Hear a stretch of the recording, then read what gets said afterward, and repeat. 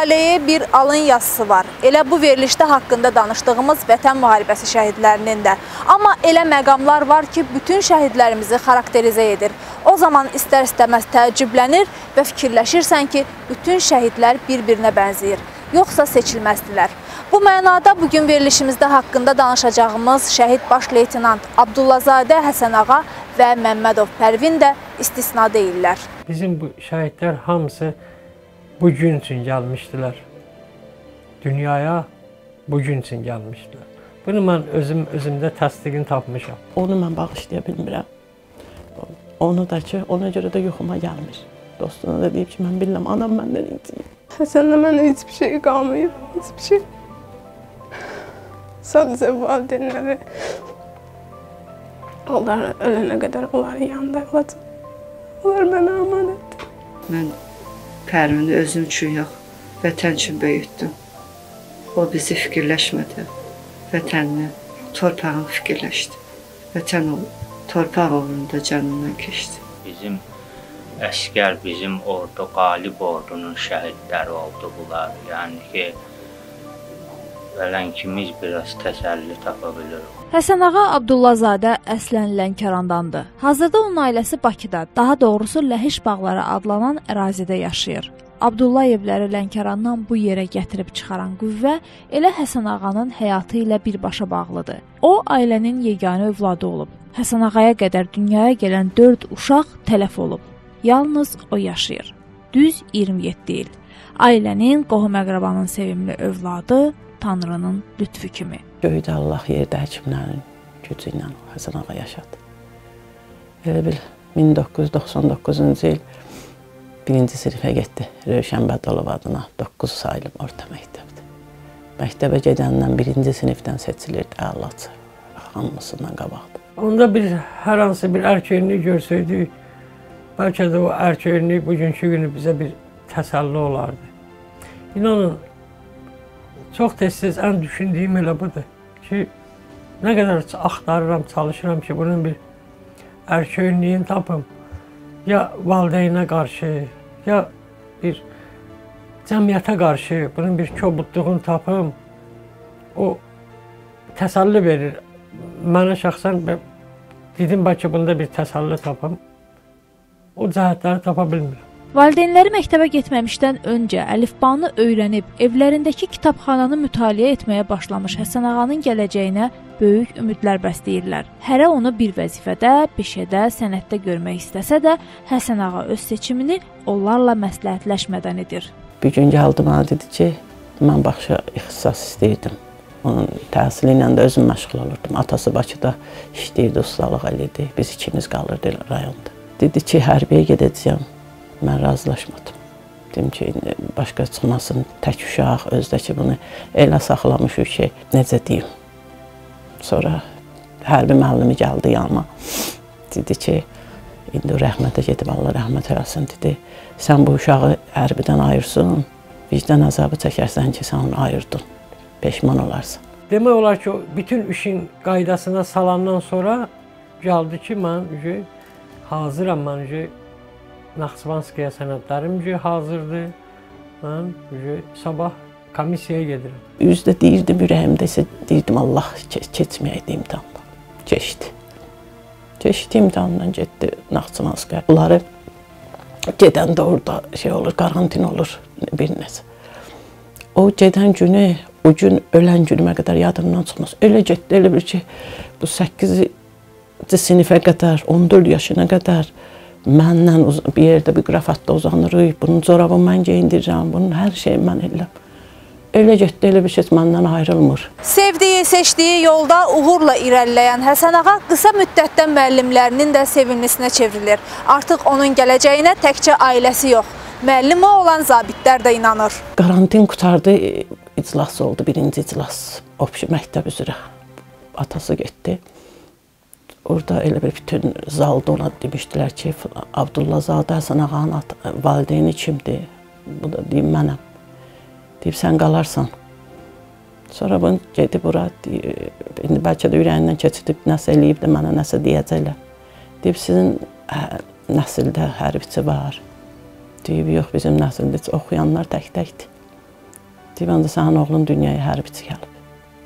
İnanın, Naxçıvanskıda başda necə başda necə deyim də, yəni bütün təşkilat işlər, tağım komandiri keçdi akademiyaya, akademiyada da çəhalla.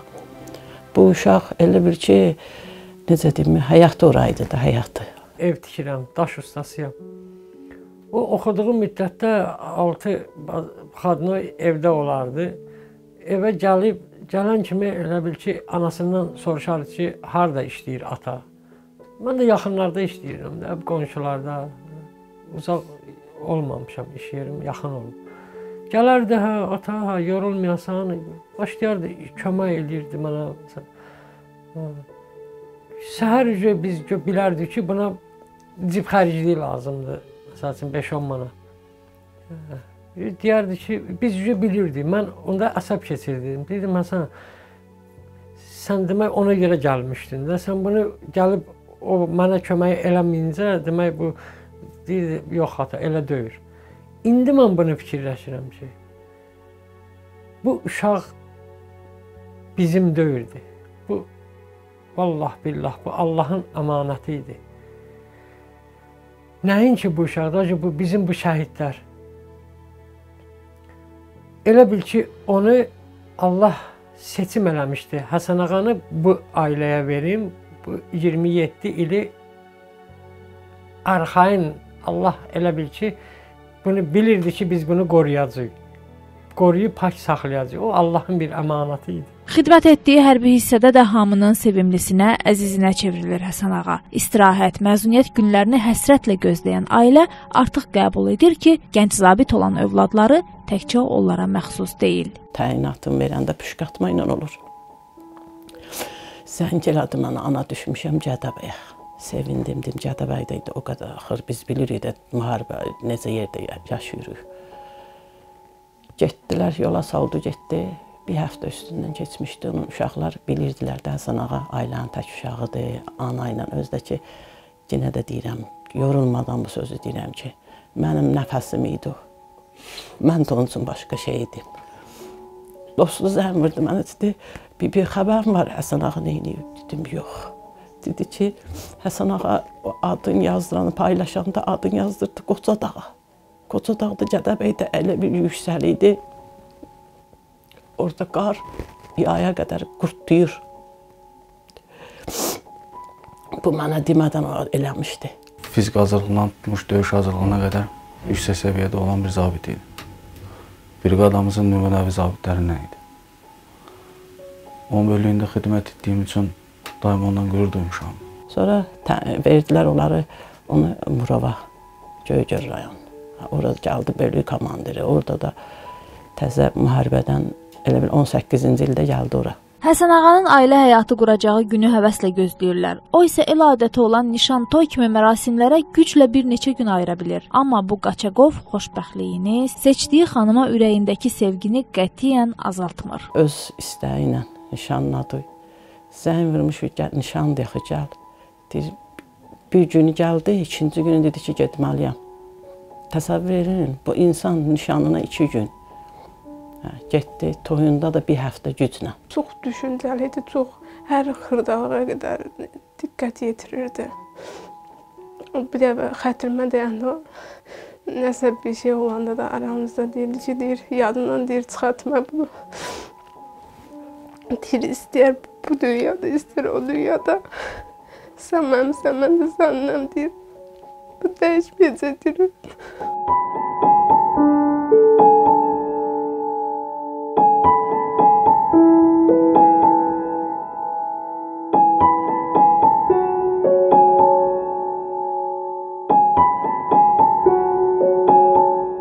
Ürəyi açıqlıq, səxavət, imkansıza əl tutmaq, Həsənağa haqqında söhbət açan, xatirələrini bölüşən yaxınları danışdıqları əhvalatlarla onun bu xüsusiyyətlərini açırlar. Bizim bir felçer var idi. E, axşam təlimat çıxmasından gəldik. Mən buraxışa gedəsi oldum. Qayıdıb sabah gələndə taborda nəsə hava hava yaxşı deyildi. Soruşanda o felçer rəhmətə getmişdi, ürək tutmasından səhərə yaxın. Dəfn eləyib gələndən sonra Doğanda bir taksi sürücüsü gəldi. Biz aşağıda tabor həyətində idik. Həmin felçerin ona borc olduğunu demişdi. Sərt reaksiya verdi sınaq ona ki, borcu nə qədərdir? E, filan qədər. Dedi, get sabah gəl məndən götürərsən. Həmin an diqqətlə ona baxırdım, yəni. İnsan necə də öz forma yoldaşına, yəni bizlə onun heç bir əlaqəsi yoxdur, yəni biz motatıcı bölüyük. O tibəndə gəlsin felçerdir, yəni.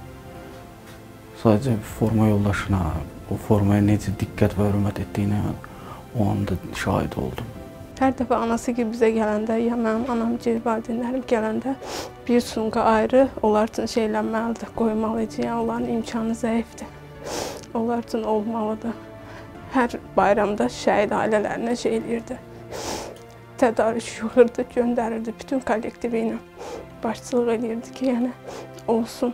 Yəni onlara deyir hökman lazımdır. Doğmaları deyir ki, Həsən ağa onları bu günə hazırlayırdı. Amma o zaman onlar gənc zabitin danışdıqlarının nə qədər gerçək olduğunun fərqinə də varmırdılar. Deyirdi ki, sən deyir şey edirsən də, yəni sən elə deyirsən, fəxr eləyirsən, deyir məndən. Deyirəm ki, bəzən eləyirəm də. Söz orasında deyirsən, gedəsən müharibəyə, nəsə olar sənə. Mən onsuz da səndən fəxr eləyirəm. Deyir ki, yox. Deyə deyirlər ki, milli qəhrəmanın deyir xanımısan isə. Dedi sənə müharibə lazımdır, mənə lazımdır. Sən bilsəndir anam gələn dəfə sən Kəlbəcərə gələcəksən. Mən dedim mən Gəncəyə güclə gəlib çıxıram. Kəlbəcərə necə gələcəm? De Kəlbəcərdə bayrağı sancacağam. Sonra səni də apar burada yaşadacağam. İnşallah o gün olsun ki biz işğal olunmuş torpaqlarda oturaq orada gelinimizi də, ad günümüzü də. Hər bir şey qeyd edir. Birinci günümüz də bu 2019-da. İnşallah buna biz 1 ildən sonra, 2 ildən sonra baxanda bu günü yadımıza salarıq. İnşallah. Yəni sən də belə yaşamaq istəyirsən. Yəni bu videoya sən silsən, eləsən, cavab verəcəksən sən ona görə. Başa düşsənmi? Yaxşı. Əl elin sağ olasın. Sağ ol. Səmilə ana müharibədən əvvəl sentyabrın 20-sində oğlunun yaşadığı hərbi şəhərciyə üst tutur və gənc ailə ilə düz bir həftə vaxt keçirir. İndi həmin o sonuncu qayğısız, narahatlıqdan uzaq həftəni xatırlayan ana hesab edir ki, onu ora aparan qüvvənin adı ana ürəyinin öncə duyumu idi. Deyə bilərəm ki, Allah məni onda istədi ki, mən bir həftə onun yanında qaldım. Bir həftə onu gördüm. 19-u 26-sı getdi. Ailəsi deyir ki, Həsən ağa döyüşə sevinərək yola düşmüşdü. Onun bu arxayınlığı doğmalarına qətiyyən pis bir şey haqqında düşünməyə imkan vermirdi. Gəldi yatan yerdə məni qucaqladı. Bir dənə duxuvu ver vurun. Getdi. Müharibə günlərində belə hər gün anası ilə telefonla danışan Həsən ağa onu hər şeyin yaxşı olduğuna inandırır. Oktyabrın birinə qədər hər gün danışırdı. O bilirdi də o həmin gün onun zəngi gəlməsə mən ölərəm. Ancaq indi isə 7 aydır ölmürəm. Həsən ağa Abdullazadə itkin düşür. Ailəsi onun şəhidlik xəbərini alsa da nəşinə yanvar ayında qovuşur.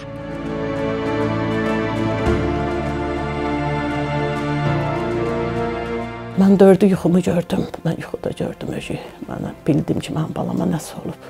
Bunlar məndən gizlətdilər. Oktyabrın 12-si özü erməni saytlar paylaşırmış ki, biz bunun adını mən bir aydan sonra bildim. Bir aydan sonra yoldaşım gizlədırdı bizdə. O dərəcəyə gəldim o tələb elədim, dedim, nədir mənə deməlisiz. Ondan sonra saytlarda baxdıq, gördük, hər şey belə. Qəbul eləmirdik. Mən dedim, mənim qardaşımın oğlu ölə bilməz. Biz hətta moruqda getdik onu. Gördük də mən yenə dedim, yox, Həsən döyür. Qəbul eləmək istəmədim. Bu gün bu ailəni ayaqda saxlayan qüvvənin adı fəxarət və cəmiyyətin şəhidə olan hörmətidir. Məndən yaşamırsaysansa tarixdə yaşasın. Bunu istəyirəm. Başqa heç nə istəmirəm. Heç nə mən eynimə, heç nə. Şəxsən mən ata olaraq mən özümü onun yanında baş tacı görmədim. Onu mən baş tacı gördüm. Bir tərəfdən utanıram ata kimi. Bugünkü kimi mən onun adından istifadə edirəm. Şəhid atasıyam, mənə yol verin. Çətin, çox çətindir. Əgər bir dənə nişanası olaydı, heç olmasa mən ona baxaydım deyərdim ki, balamdan bir dənə nişana var da. O da yoxdur. Səmilə ana deyən kimi artıq Həsən ağanın keçdiyi bu qısa, amma şərəfli yol bədii əsərlərə, məqalələrə, televiziya verilişlərinə mövzu olub. Məktəblilər belə onun haqqında yazılmış şeirləri əzbərləyirlər. Ana torpaq, şəhidim var, şəhidimə yaxşı bax. Elə bərk qucaqla ki, ona soyuq dəyməsin. Yorğanını asta ört, şəhidimin üstünə. Axı yaralı da o, yarası incitməsin. O ata-anaya can övladı idi. Abdullayev nəsli damağında dadı idi. Həsən ağa, Həsən ağa, igid'imin adı idi. Qurban olum şəhidimə yaxşı bax. 2001-ci ildə Xaçmazın Şıxlar kəndində anadan olan Pərvin öz xarakteri ilə uşaqlıqdan hamıdan seçilirdi. Bu gün onun doğmaları haqqında danışarkən əsasən bu sözləri işlədirlər. Qorxmaz, cəsur, uduzmağı bacarmayan, mərd. Vətən sevgisi onu daşır daşırdı. Mən hər dəfə tez-tez gəlirəm burada. Oluram. Hər dəfə də onunla belə həddindən artıq istiqamlı uşaq olduğu üçün mən onunla çoxlu söhbətlər edirəm. Hər dəfə də oradan da vətən dərdinə alışıb yanırdı. Çox tərbiyəli, sakit, savadlı, ağıllı, biraz da davakar şagird idi.